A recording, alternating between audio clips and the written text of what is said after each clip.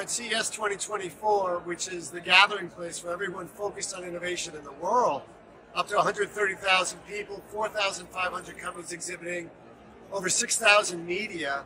And the reason we're here in part is because Human Security Campaign, working with Human Security for All and the relationship with the United Nations and the world economy is very important because these securities focus on fundamental things that every human should be entitled to.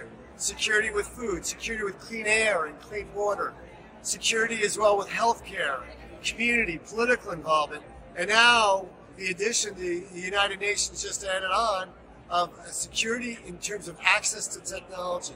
In so many areas, this is important. And what we're seeing is these innovators here that are focused on, on ensuring these fundamental human securities with 4,500 companies, many of them focusing on these solutions and with an overall coverage of sustainability for the earth. So what could be better than a partnership like that? And what is more important than talking about that?